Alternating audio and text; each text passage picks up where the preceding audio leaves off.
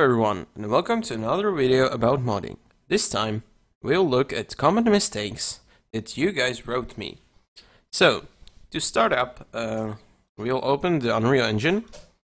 The first mistake I've seen is not setting up the mod tool config. It is actually really important to set up because otherwise it wouldn't work.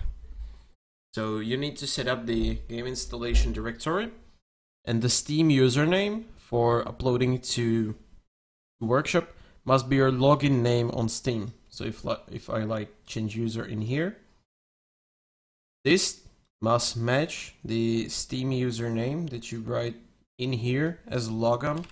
So it must be the same. Uh, so do not put your nickname. It must be the Steam account name in here. So that's the first one.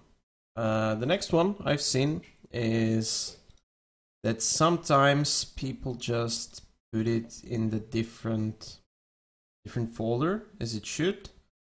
Uh, so uh, I've seen someone getting into decal, this folder, where is the test decal.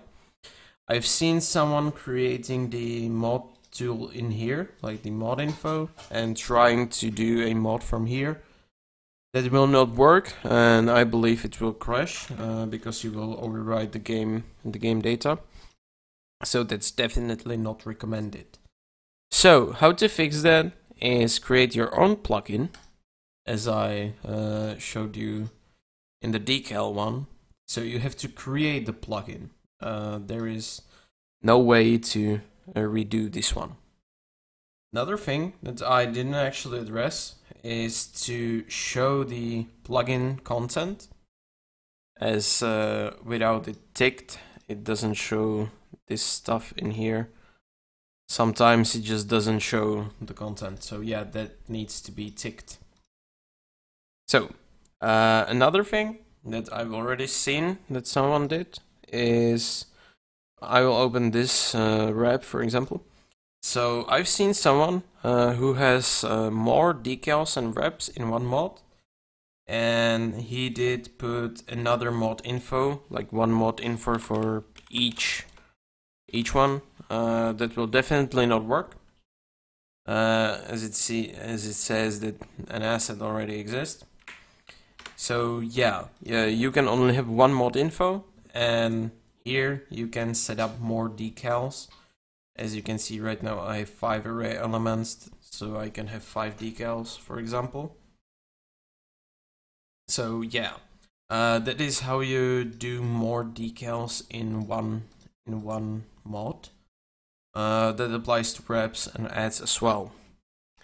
Another common thing that I've seen is that you didn't name the data asset to mod info so I've seen someone having it named like new data asset and trying to cook it from there. That will definitely not work. Uh, there is no way that Unreal will pick it up as the mod info and that's just not gonna work. So how to fix it is that to name the data asset to mod info and in the first place choose the correct data asset as the mod info.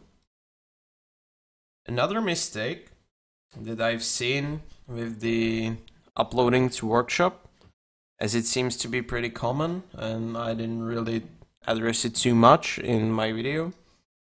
Uh, you need to have a picture for the Unreal and for the workshop. Needs to be named steammod.png. It is case sensitive, so it needs to be like this. It really needs to be a PNG and another thing, it needs to be under one megabyte. So it's it needs to be really small. And without it, it will crash. It will say the error that cannot upload to workshop. So basically a fix for that is just to copy the steammod.png into the plugin folder of the plugin that you're trying to upload. Uh, then recook the mod as it needs to be recooked again and then uh, try to upload and then it should work.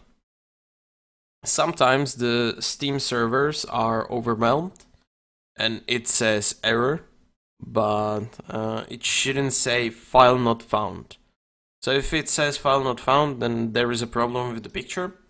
Otherwise, it is pretty much okay. Uh, as you can see, you can put basically anything in there, as it will show up on the on the Steam Workshop. So I believe that's all the common mistakes that I've catched uh, along the time.